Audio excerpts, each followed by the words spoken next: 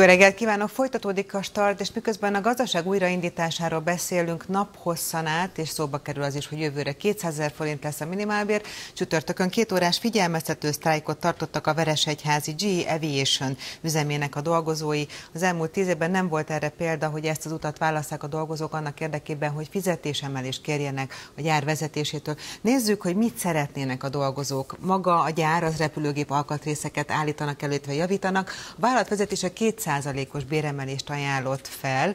Ugye mostantól az év második felére vonatkoztatva a dolgozók 4%-ot fogadnának el. A szakszervezet szerint a műszakban dolgozók 40%-a részt vett a csütörtöki sztrájkban. A vállalatvezetése egy ilyen 10% körüli részvételről kommunikált.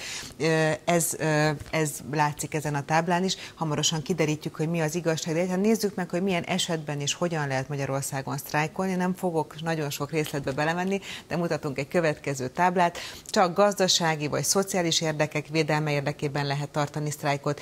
Minden sztrájkot egyeztetés kell, hogy megelőzzön, nem lehet egyik pillanatra a másikra sztrájkolni. Hogyha hét napon belül nem vezet eredményre a sztrájk, akkor ö, lehet sztrájkolni, vagy nem tárgyalnak a, a cégvezetői a dolgozókkal, illetve külön kérelmet kell kijelölni, vagy kérelmet kell beadni az, ahhoz, hogy egy képviselőt kijelöljenek, hogyha több munkavállalót érint a sztrájk követelés, illetve már az egyeztető tárgyalások alatt is lehetőség van figyelmeztető sztrájkra, ez történt Veresegyházon, tehát pont ez történt, hogy elindult a tárgyalás folyamat, úgy tűnt, hogy nincs megállapodás, ezért volt a figyelmeztető sztrájk, de másnap folytatták, és mindjárt elmondjuk, hogy milyen eredménnyel érkezek Székely Tamáshoz, a Magyar Vegyipari, Energiaipari, sokan szakmákban dolgozók szakszervezeti szövetségének elnökéhez, röviden a VDS elnökéhez. Jó reggelt kívánok, Jó reggelt köszönöm kívánok. szépen. Ott fejeztem be a történetet a nagy kivetítőnél, hogy csütörtökön két órás figyelmeztető sztrájk volt, pénteken folytatták a tárgyalást, jutottak-e bármilyen eredményre? Nem, nem jutottunk eredményre. A munkáltató ragaszkodik a 4%-hoz, és azokat az ajánlatokat sem fogadta el a munkáltató, ami végül is szerintem egy megállapodáshoz vezethetett volna. Ezért úgy döntöttünk, hogy, és ennek az előkészítése zajlik, hogy határozatlan idejű sztrájkba fogunk kezdeni. Mikortól? Ezt majd még az előkészítés során el fogjuk dönteni, és majd a munkáltató meg fogja tudni, amikor erre sor kerül. Ugye 4%-ot említett, lehet, hogy akik figyeltek ott, akkor most így elakadtak, hogy 2, 4, hogyan jönnek ki ezek a számok. Fél évtől szeretnék, a 4% meg az év egész évre vonatkozik, ugye? Tehát akkor az 2021-ben ez 2%-os emelkedést realizálna, hogyha elfogadnák önök azt, amit a munkáltató ajánl, ehhez képest önök az egész fél évre 4%-ot szeretnének. Így van, ugye mi 8%-ról indultunk, pontosan ez a július 1 bevezetéséből fakadóan 4%-ot jelentett volna, a munkáltató 4%-ot ajánlott 2% lesz. Ez egyébként el se éri az inflációt, tehát itt biztos, hogy reál keresett csökkenés De hát már a minimálbér emeléssel az elvileg azt egy nagy részét már lefette, tudjuk, hogy az nem fette le a teljes inflációt, ezt azt egészítette volna ki? Nem, nem, itt azért a bérek magasabbak, mint a minimálbér, tehát automatikusan itt senki sem kapta volna meg ezt a fajta emelést, amiben megállapodtak a VKF-ben. Pontosan ezért is gondjuk azt, hogy itt egy magasabb béremelésre van szükség, hiszen az infláció az elmúlt időszakban jól látszik, hogy jóval magasabb, mint amit terveztek a gazdasági szakértők. Ebből adódik az, hogy reál keresett növekedésre mindenképpen szükség van, illetve a tavalyi évhez képesti színvonal csökkenésre nem lehet volna. Segítsen nekünk megérteni, átlagosan mennyit keres egy dolgozó. 300 ember dolgozik ebben a gyárban, önök szerint mondjuk 40% a sztrájkolt, vagy a figyelmeztető sztrájkban részt vett, a vállalat szerint csak 10% honnan arred egyáltalán ez a különbség, és aztán visszatérünk a fizetésre. Hát itt ugye mindig van egy ö, csata, hogy akkor ki, hogy mint számolja. Én azt gondolom, hogy a, az eredmény a lényeg, tehát itt ö, a folyamat során során a folyamatok megálltak, mert a kollégák olyan helyekről sztrájkoltak, ahol a teljes úgynevezett cella megállt, tehát nem lehetett tovább menni. Egyébként egy stratégiai kérdés, hogy ezt hogy építi föl a szakszervezet egy sztrájk esetében. És én azt gondolom, hogy igenis pontosan az az üzenet fogalmazódott meg a munkavállalók részéről, hogy ugyan magasabb a keresetük, mint a munkanélkülieké, illetve a minimálbért keresőké, éppen ezért nem rugaszkodott el a követelés a ö, munkavállalók számára. Egyébként olyan nagyságrendileg az átlag kereset az lefedi a magyarországi átlag kereseteket 400 ezer forint. Körülbelül ennyit lehet, 400-500 ezer forint.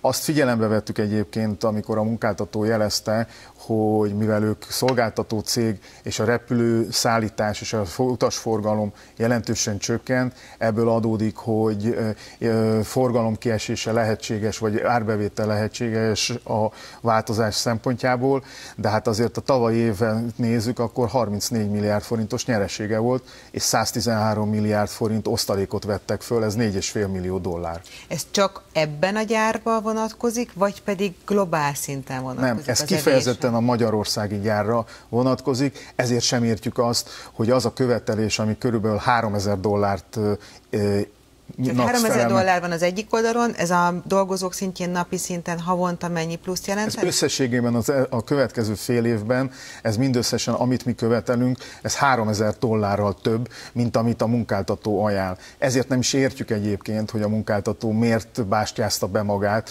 és miért nem hajlandó egy kompromisszumos megoldásra. Tehát az átlag 400-500 ezer forintos keresetnek, ők önök szeretnének, hogy 4%-os emelés legyen, ugye a második, vagy 8%-os béremelés legyen összességében, összességében, tehát mondjuk egy ilyen 35 ezer forinttal, most gyorsan fejben számolok, emelkedjen a, a havi bér, és ebbe a második fél évben realizálódjon mindez. Mi a tárgyalások során már lejjebb mentünk, látva azt, hogy a munkáltató mozduljon már el végre a 4%-tól. Mi 5%-nál álltunk meg, itt egy 1%-os differencia van, ezért mondtuk azt, hogy ez összességében 9 millió forint a 300 dolgozó részére fél éves bérköltség tekintetében viszont a munkáltató továbbra is a 4%-hoz ragaszkodik, azt az ajánlatot se fogadta el, amit legutoljára tettünk, hogy legalább a megállapodást, ami most él egy üzemi megállapodást, azt fordítsuk át kollektív szerződésé. Semmivel nem kerülne többe, így a munkáltatónak az ezévi Miért lenne jó önöknek, hogyha kollektív szerződés lenne, több védelmet kapnának? Nyilván tudjuk, hogy igen, de hogy ez a napok, hétköznapi gyakorlatban is a dolgozók bőrén érezhető védelem lenne? A kollektív szerződés az mindig egy plusz biztonságot jelent a munkavállalók számára, ezért is a az elsődleges cél a szakszervezetek alakulása esetében üzemekről beszélve, hogy legyen kollektív szerződés. Ebben a munkáltatónak is vannak bizonyos szempontból előnyei, de a munkavállalónak is, hiszen biztos, hogy többet fog tudni átlagba hozni egy kollektív szerződés, mint mondjuk a sima munkatörvénykönyve. Ugye azt mondtuk, hogy, hogy ez, a, ez az egész folyamat, ez még nem zajlott le, tovább fog, tör, további folyamatos sztrájk lehetősége adott és mielőtt elkezdtük ezt a beszélgetést, beszélgettünk mi önö, egymással, és akkor elmondta, hogy az elmúlt tíz évben nem volt jellemző, hogy sztrájkoltak volna a G bármelyik üzemében. Mit gondol, miért tartunk most itt, vagy változott-e úgy a gazdasági környezet, vagy, vagy a hajlandóság a befektetői oldalról, vagy a cégvezetés oldalról, mi változott meg, és várható-e további hasonló esemény? Én azt gondolom, hogy a G magyarországi tevékenységét tekintve egy viszonylag jó multinacionális cég. Én számomra ez érthetetlen egyébként, hogy pont ennél az kisebb foglalkoztatású cégnél miért merevettek be így az álláspontok. Ha megnézzük már az idei évben más GE Kft-t, ott megállapodott a szakszervezet a munkáltatóval, és meg kell, hogy mondjam őszintén, jobb megállapodásokat kötött, mint amit egyáltalán ebben a helyzetben a GE Aviation-nél látunk. Tehát én egyszerűen ezt nem is értem. Arról nem beszélve, hogy azért az is látszik, hogy Magyarországról a multinacionális cégek az elmúlt időszakban jelentős osztalékot vittek ki. Nyilvánvaló, hogy ez a pandémiából adódóan más területek finanszírozására fordítandóan vitték el. De ez is egy másik kérdés. De az, hogy a munkavállalók, akik megtermelték a tavalyi évben is a pandémia ideje alatt azt a mennyiségű bevérvételt biztosították, ami aztán utána nyereséget hozott, és ezért nem kapnak a munkavállalók többet, mint amit a munkáltató akar, és ezzel reálbér csökkenés következik be, ez elfogadhatatlan. Egy nagyon gyors reakciót szeretnék arra, hogy hátra dőlhet a munkáltató, hogy hát akkor felmondanak viszontlátásra, majd lesz helyette más, hiszen úgyis munkanélküliség van. Én azt gondolom, hogy nem, mert ahogy látszik, a tavalyi évben is számos olyan beruhá, vagy olyan megrendelésük volt, amit Magyarországon az alacsony bérnek köszönhetően inkább itt végeztek el, hiszen ugyanez a munka, ugyanez a munkaerő mondjuk Németországban egy másik leányvállalatnál 40%-ot több Nagyon szépen köszönöm Székely Tamásnak, hogy itt volt velünk ma reggel. Köszönöm szépen. Köszönöm szépen.